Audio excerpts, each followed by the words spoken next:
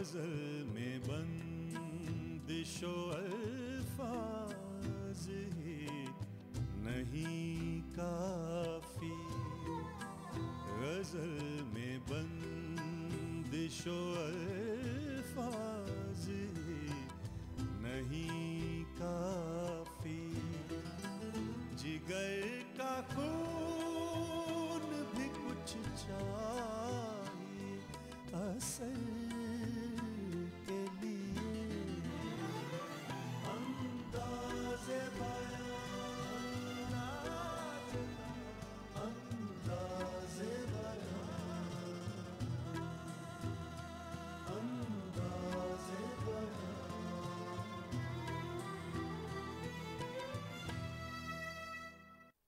आदाब नाजरीन, अंदाज बयां की इस महफिल में आप सभी का खैर मकदम है। मैं हूँ सरवत जहरा। दिल वो नगर नहीं कि फिर आबाद हो सके। पछताओगे सुनो, ये बस्ती उजाड़ के।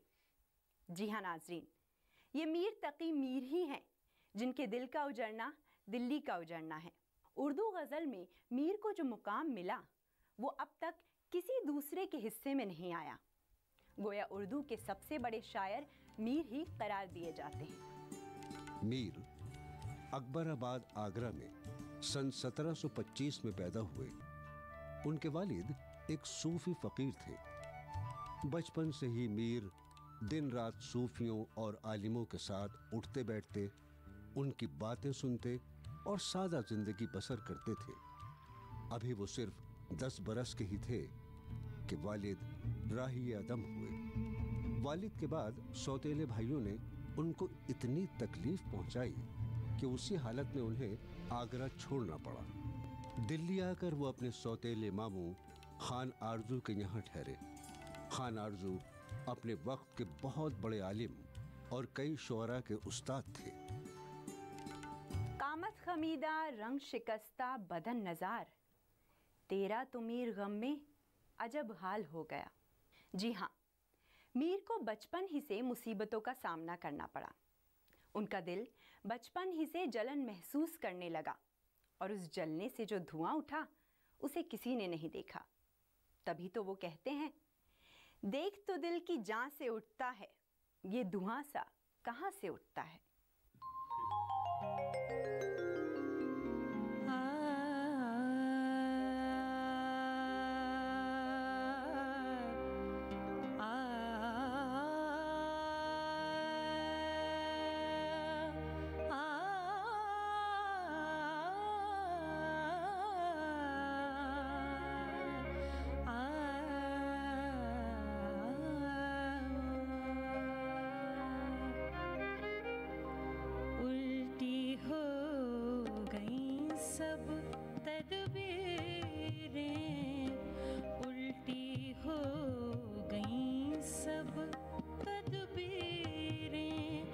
कुछ ना दबाने काम किया।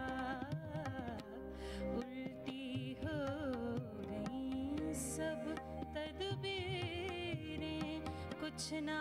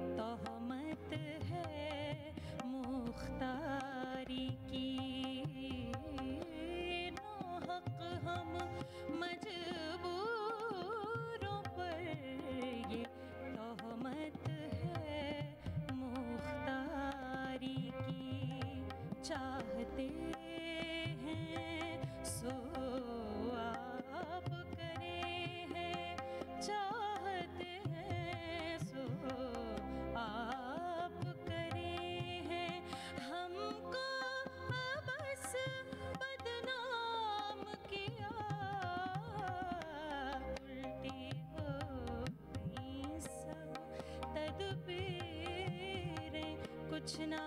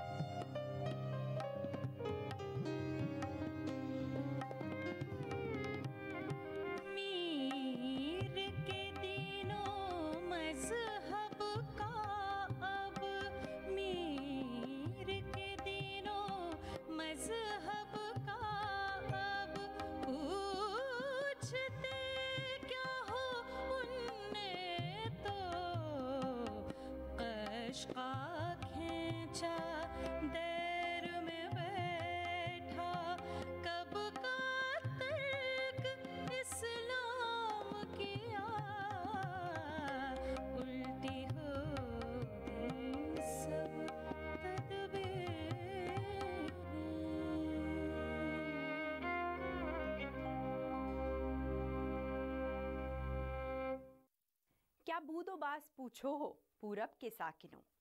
हमको गरीब जान के, हंस हंस पुकार के। दिल्ली जो एक शहर था, आलम में इंतखाब। रहते थे मुंतखब ही जहाँ रोज़गार के। उसको फलक ने लूट के वीरान कर दिया। हम रहने वाले हैं उसी उजड़े दयार के। आगरे से दिल्ली उनकी दूसरी मरतबा आमद जब हुई तो उनकी उम्र तकरीबन पंद्रह या सोलह साल थी। पंद्रह या सोलह साल की उम्र का बच्चा दिल्ली को तबाह होते अपनी आँख से देख रहा है माशरत को उजड़ते देख रहा है और इसकी तस्वीरें उसकी शायरी में इतनी तफसील से से जमा कर दी गई हैं, बल्कि हो गई हैं कि वाकई हैरत होती है कि इस शख्स पर उसके ज़माने का कैसा असर पड़ा। एक दो नहीं, शायद उसकी एक हज़ार सात सौ गज़लों में से हर गज़ल में दो एक शेर ऐसा ज़रूर निकल आएगा जिसमें दिल्ली की तहजीबी ज़िंदगी के तबाह होने का ज़िक्र है। ज़्यादातर तो ये होता रहा है कि हम ये देखते रहें कि मीर एक मुंतशिर, एक टूटती बिखरते माशरे का नुमाइंदा है और उसकी तर्जमानी करता है। लेकिन हम इसे नज़रअंदाज करते हैं कि वो और इसके अलावा इस, उस आदमी को दरियाफ्त करता है जो इस माशरे में बिल्कुल अकेला हो गया, जिसके रिश्ते नहीं, जो आदाब भूलता जाता है इंसानियत के। ये शायरी हमारे ज़माने के लिए अहम है। हमारे ज़माने के लिए इसलिए अहम है कि हम इंतशार के एक बिल्कुल नई डिफिनेशन के सामने अब भी हम मुंतशिर हैं, लेकिन मुंतशर होने के असबाब हमारे इतने कवी हैं, जिन्हें हम अपनी जगह से हिला भी नहीं सकते। दिल्ली पहुंचकर मीर ने बहुत से अमीरों के यहाँ मुलाजमत की। कहीं लड़कों को पढ़ाया, कहीं मुसाहिबत किए। मगर कोई वक्त ऐसा नहीं गुजरा जिसमें उनको चैन मिला हो। जैसी दुख भरी हालत दिल्ली की थी, वैसी ही ज़िंदगी मीर की है। अगर कोई इस जवाल आमादा समाज को शायरी के रूप में देखना चाहे तो वो उसे उस वक्त की तारीख में नहीं, बल्कि मीर के कलाम में साफ़ तौर से दिखाई पड़ेगा। उन्होंने खुद कहा है। बरहमी हाल की है सारी मेरे दीमा में।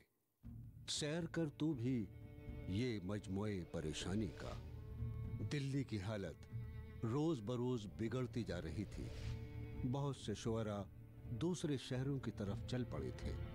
सौदा, सोज और कई दूसरे शायर लखनऊ जा चुके थे। मीर ने भी जब दुश्वारियाँ बढ़ती देखी तो लखनऊ की राह पकड़ी और सन 1781 में वहाँ पहुँच गए। नवाब आसिफुद्दौला ने उनका खैर मकदम किया और 300 रुपए माहवार वजीफा मुकर्र कर दिया। मीर अपने उस्ताद मिजाज से बहुत नाजुक दिल थे। खुददारी बहुत थी और अपनी इज़्ज़त और तौकीर की हिफाजत के लिए बड़ी से बड़ी आफत बर्दाश्त करने को मुस्तैद रहते थे। नतीजा ये हुआ कि नवाब से उनका निबाह ना हो सका और उन्होंने दरबार जाना छोड़ दिया। फिर भी आसिफुद्दौला ने उनका वजीफा जारी रखा। सन 1810 में लखनऊ ही में उनका इंतकाल हुआ। अपनी ज़िंदगी, तकलीफ़ और बदहाली में गुजारी थी।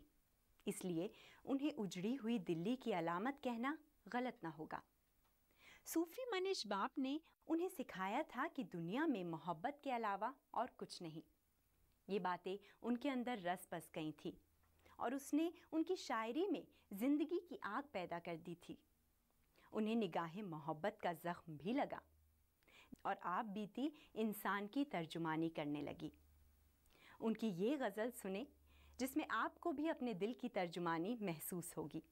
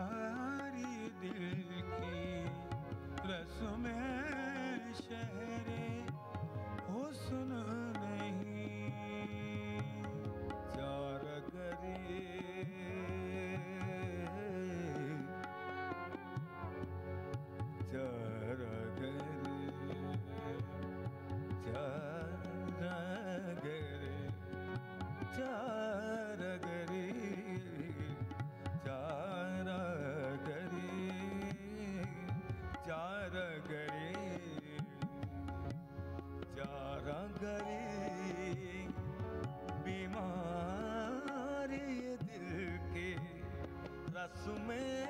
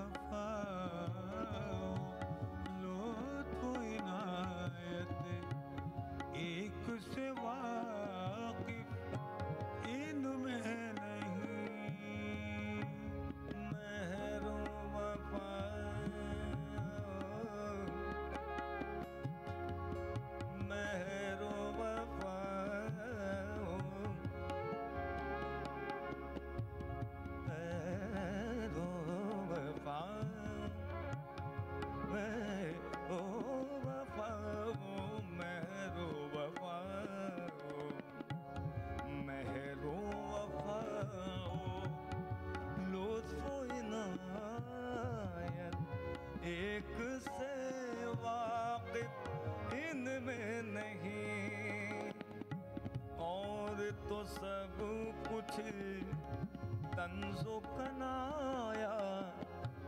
रमजो इशारा जाने है। और तो सब कुछ तंजो कनाया। रमजो इशारा जाने है। जाने ना जाने गुल जाने बाग तो सारा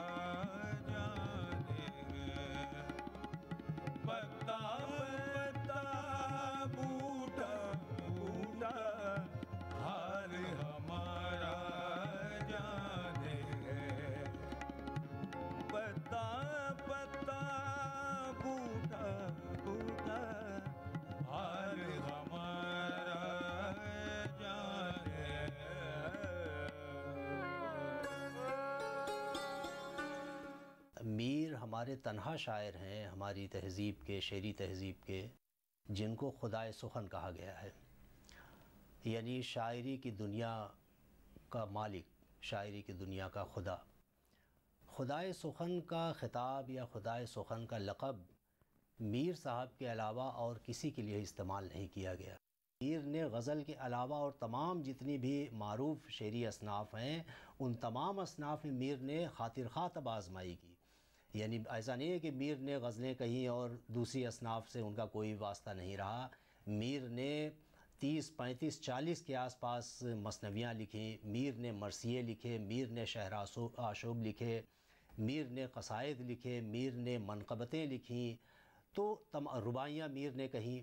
लेकिन ये बात भी अपनी जगह मुसलम है कि मीर की जो भी अज़मत है, मीर की जो बड़ाई है, मीर के जो कमालात हैं और मीर को जो खुदाए सुखन कहे जाने वाली बात है, उसकी बुनियाद है उनकी गज़ल गोई। ज़ौक़ ने अपने मखसूस अंदाज में एक शेर में कहा कि न हुआ पर न हुआ मीर का अंदाज़ नसीब, ज़ौक़ यारों ने बहुत ज़ोर गज़ल में मारा। नाजरीन, छह दीवानों के अलावा मीर की और भी कई किताबें मिलती हैं जो फारसी में हैं। ज़िक्र मीर निकातुशरा फैज़ मीर जिसमें उन्होंने अपने बेटे की तालीम के लिए कुछ सूफी फ़ोकरा की कहानी बयां की है। मीर की गज़ल का एक और रंग देखने के लिए आइए नाजरीन, ये गज़ल सुनते हैं।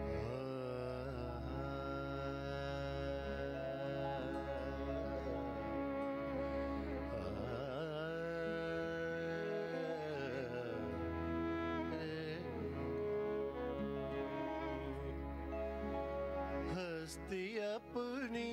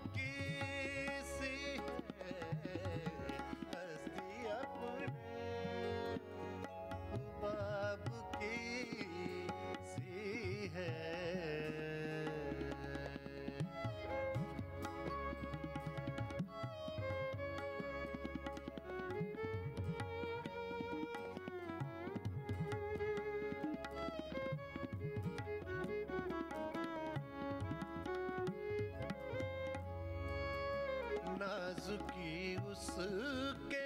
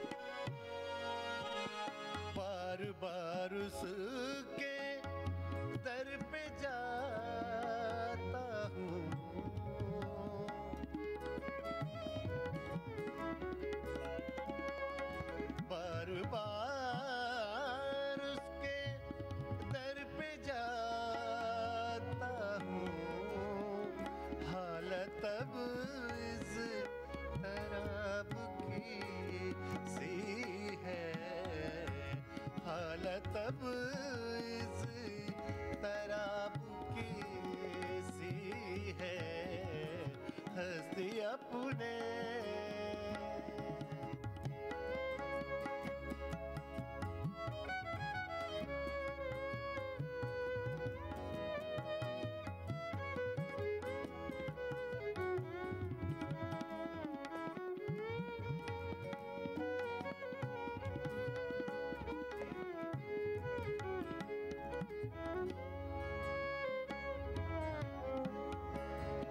मीर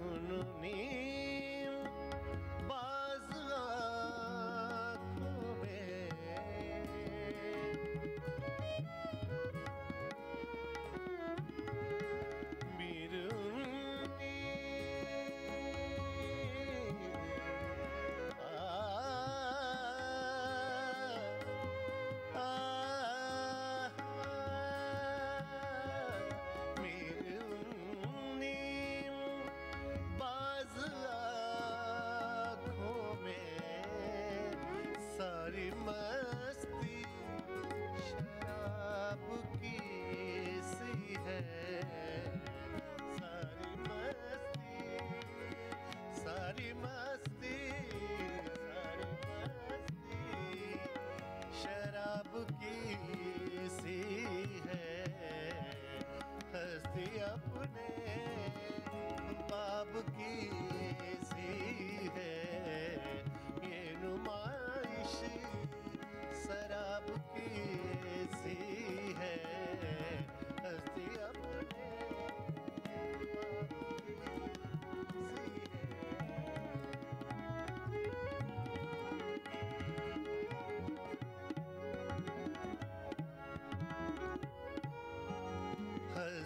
अपने बाप की सी है।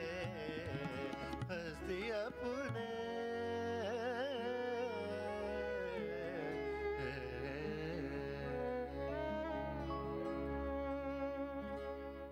मीर ने एक ऐसे आलम की अपने दिल में तख्लीक की थी, जिसमें ज़िंदगी की सारी रानाइयाँ उनके लिए मादूम हो चुकी थीं।